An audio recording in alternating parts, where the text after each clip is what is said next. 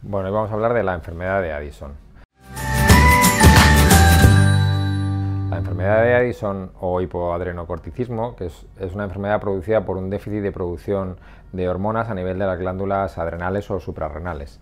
Eh, este déficit de producción de estas hormonas, que son eh, corticoides, mineralocorticoides y glucocorticoides, que se producen de manera endógena en esta glándula, pues genera una sintomatología muy variable, con lo cual es una patología a veces difícil de diagnosticar. Se le llama a la patología la gran imitadora, porque produce síntomas de otro tipo que parecen otras enfermedades, es decir, que puede presentarse de manera frecuente con sintomatología digestiva, pero suele remitir más o menos bien con un tratamiento sintomático, con sueros, con tratamientos eh, pues antieméticos, antidiarreicos.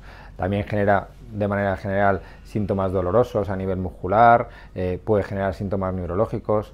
Es típico que generen temblores por problemas a nivel lumbar, problemas de dolor muscular. Entonces es una enfermedad que te puede manifestar síntomas de mucho tipo. Suelen ser animales de poco peso, es más frecuente en animales jóvenes, aunque también se puede eh, presentar en animales mayores, con lo cual es una patología que a veces es difícil de reconocer por el propietario, con lo cual hay que acudir a un veterinario. Eh, es analíticamente sí que genera un síntoma muy típico, que es que en una analítica te genera un potasio elevado. ¿Por qué? Porque estas hormonas participan en la eliminación de potasio a nivel renal.